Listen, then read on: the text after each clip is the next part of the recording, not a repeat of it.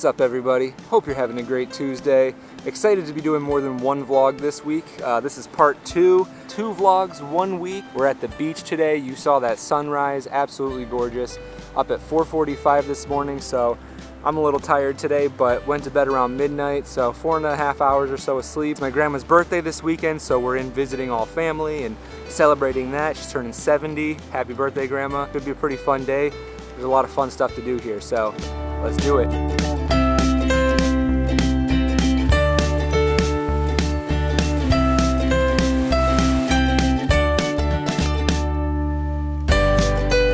All right, we are ready to go um, set up. Still waiting on a couple things to arrive. It's only a quarter after eight, so still pretty early. But we have all the tables covered, balloons, streamers. Does this look like a 70th birthday party? I think so. Look at this. We got some food, coolers, grills are right over there. This place is pretty sweet. Look at this view. It is so cool here. Let me show you some of the uh, some of the cool things that we have going on. Volleyball, how about that?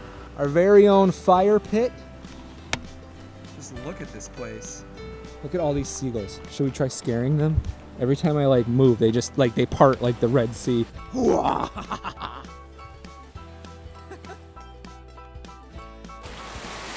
I'm gonna head back in, probably wait two hours.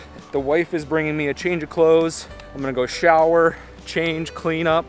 Um, I'm kind of just holding down the fort right now until everyone else gets here or other people get here. And then, uh, yeah, we'll get the day started.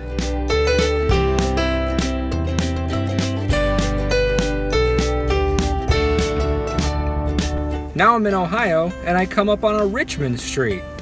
What are the chances?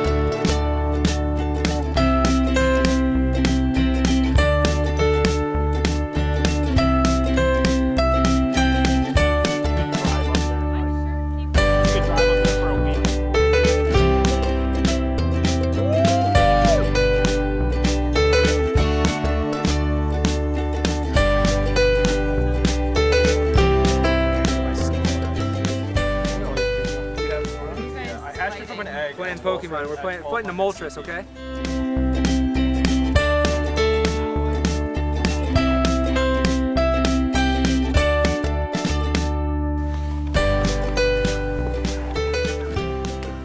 Let me explain a little bit about what makes my grandma so great. In order to do that, you need to know a little bit more about me. I was born in Euclid, Ohio, not too far from where we're at right now. I moved around a bit as a kid, but two things that were always constant in my life were my mom and my grandma. She was always there for me. She always supported me, and she always encouraged me to be the best version of myself. When I was a freshman in high school, my mom, my stepdad, my brother and sister and I, we moved to Queensbury, New York.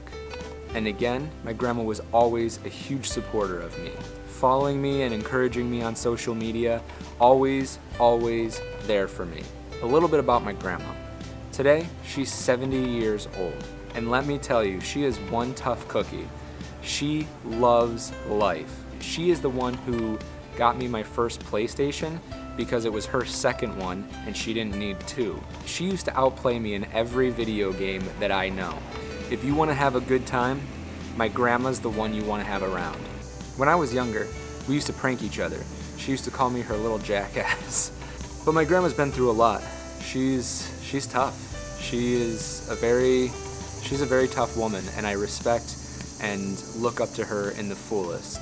She inspires me every day to live my life to the fullest and not take anything for granted. If you have someone in your life that supports you unconditionally, no matter what, and believes in you 110%, then you know what I'm talking about. For me, that's my family, and my grandma is a huge part of that. She has always encouraged me to be unique, be myself, and that I have the potential to do anything. So with that said, thank you, Grandma. I love you. Happy birthday, and here's to many more. Happy birthday to you. Happy birthday to you.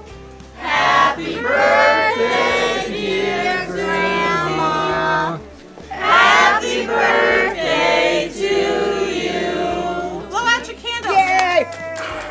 right, everybody. Whew, we're having a fire. No, we're missing. We're Tractor. we're meeting her. Just messing up my shot. Everyone wants to go out. I don't know what we're doing. I'm having a great time. Hope you had a great time. Peace.